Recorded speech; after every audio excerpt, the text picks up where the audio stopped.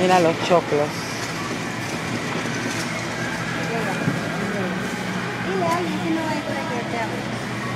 El zapallo, el brócoli, la lechuga, la beterraga. Mira esos rabanitos.